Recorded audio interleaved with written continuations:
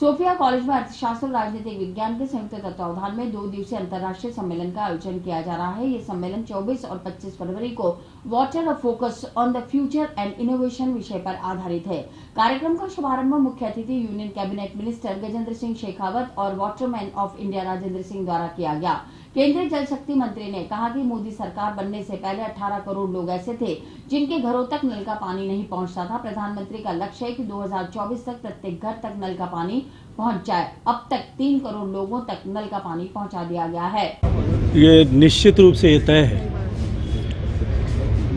कि जल और प्रकृति पर्यावरण का होता हुआ क्षरण ये वैश्विक चिंता का विषय है। लेकिन साथ ही सुखद एहसास ये भी है कि देश के प्रधानमंत्री ने जिस तरह से जल के विषय को प्रमुखता के साथ में विभिन्न प्लेटफॉर्म्स पर चर्चा करके और एक जन जन का विषय बनाने में सफलता प्राप्त की है। आज देश के सारे मीडिया चैनल्स, सारे प्रिंट मीडिया और उसके साथ साथ ही साथ में देश का प्रत्येक वर्ग संवर्ग कहीं न कहीं जल के विषय में विचार करना और चिंतन करना प्रारंभ किया है। इसी क्रम में आज इस ऐतिहासिक संस्थान में भी इस महत्वपूर्ण विषय को लेकर के एक इंटरनेशनल वर्कशॉप आयोजित की है, जिसमें बहुत सारे विश्व भर में ऐसे लोग जिन्होंने जल संरक्षण और जल समृद्धि के लिए काम किया है, ऐसे सब लोग यहाँ उपस्थित हुए हैं। मुझे भी सौभाग्य मिला है कि मैं इस ऐतिहासिक संस्थान में, जो सौ वर्ष से भी ज़्यादा पुराना है, उसमें ऐसे समसामयिक विषय पर इस जो है, अपने विचार रख सकूँ, अपनी बात कर सकूँ। देश के प्रधानमंत्री ने यह संकल्प लिया है कि हमें देश के प्रत्येक घर तक पीने का पानी जो लगभग ग्रामीण के आवास की मैं यदि चर्चा करूँ तो 18 करोड़ घरों में से अभी तक हम केवल तीन करोड़ घरों तक पहुँच पाए। और उन तीन करोड़ घरों के के अतिरिक्त जिन घरों तक पहुँचने की का जिम्मा प्रधानमंत्री जी ने 2024 तक लिया है। पंद्रह करोड़ घरों तक पहुँचने के लक्ष्य के साथ में हमने विभिन्न राज्यों के साथ में क्योंकि जल संविधान के अनुरूप राज्य का विषय है। हमने तेज़ी से काम प्रारंभ किया है। कुछ राज्यों ने अत्यंत ऊर्जा के साथ में और अत्यंत उत्साह के साथ में इस मिशन के साथ जुड़ कर के काम करना प्रारंभ किया है।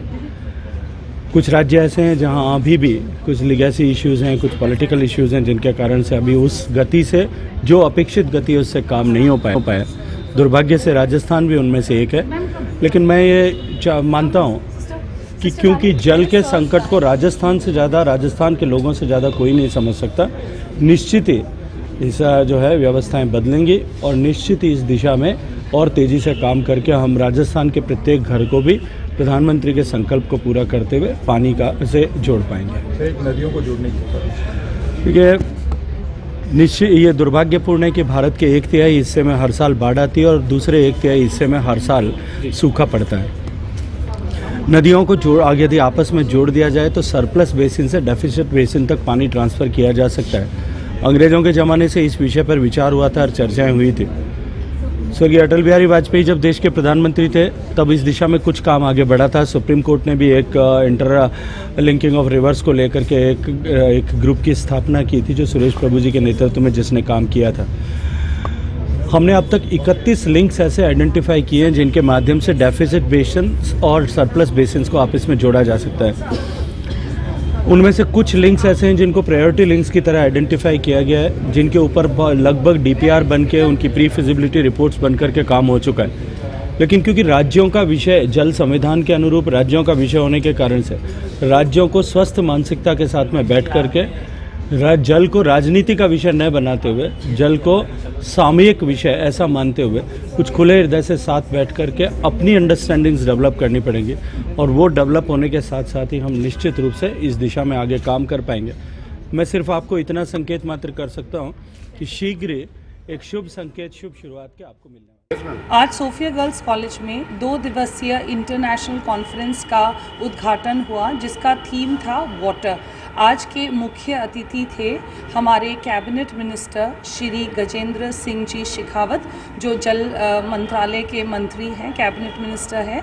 वो आए थे आज एज द चीफ गेस्ट और हमारे स्पेशल गेस्ट थे waterman of India Shri Rajendra Singh ji जो वाटरमैन कहलाते हैं वो यहाँ पर स्पेशल गेस्ट के रूप में आए थे और कीनोट स्पीकर थे आ, अमेरिका से आए हुए प्रोफेसर कवास। और आज बहुत ही अच्छा उद्घाटन हुआ। उन्होंने ये चर्चा की कि आज वाटर की क्या अहमियत है और आने वाले दिनों में जो वाटर शॉर्टेज हो जाएगा, जिसके कारण बहुत सारी प्रॉब्लम्स जो होने वाली हैं, उसके रूप में उनके बारे में चर्चा की गई। दूसरे बहुत सारे इंटरनेशनल स्पीकर्स और नेशनल स्पीकर्स भी आए हैं, जो पैनल डिस्कशन करेंगे आज और कल। कल क्लोजिंग सेरेमनी में श्री भूपेंद्र यादव जी मुख्य अतिथि रहेंगे क्लोजिंग सेरेमनी में। स्वामी न्यूज़ के सभी दर्शक तरोताजा खबरों के लिए यूट्यूब पर स्वामी न्यूज़ को सब्सक्राइब करें। साथ ही शहर से जुड़ी तमाम खबरों के तुरंत अपडेट्स के लिए बेल आइकन पर क्लिक करें। यह न्यूज़ आपको कैसी लगी? इसके लिए हमें कमेंट बॉक्स में आपके अमूल्य सुझाव दीजिए और इस वीडियो को लाइक व शेयर करें।